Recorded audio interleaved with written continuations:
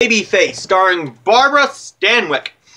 It's basically about this woman named um, Lily Powers, who is a uh, who who was forced to be a prostitute by her father at a very very young age, and uh, all all she knows how to do for money is to sleep with guys, get naked, um, and just make out with men.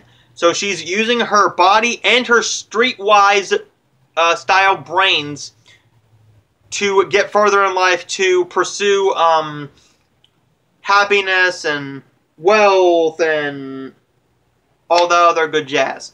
This film was good. It's a, well, on this cut, on this DVD, this four film set, uh, you have the original theatrical version, which is black and white, of course, because it is from, um, because it is from 1933.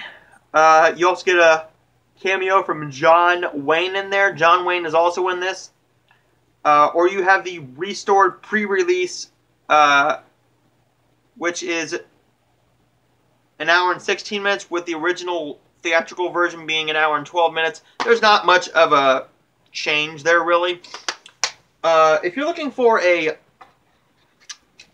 old old style movie that actually has some guts, because this film was a 1933 film um, this might have been uh, frowned upon back in the 30s, I think, because back in 1939 they had a hissy fit over Clark Gable saying, "Frankly, my dear, I don't give a damn."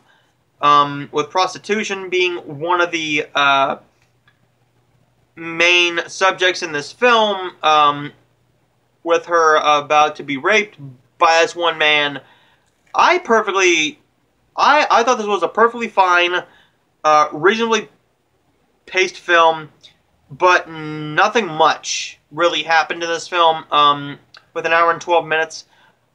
It's a classic film. I enjoy my classic films. None of them are downright terrible uh, in their own right, but I'm going to recommend Babyface if you're looking for a perfectly fine short film to watch. Uh, if, if you're a fan of Barbara Stanwyck, you've probably seen this.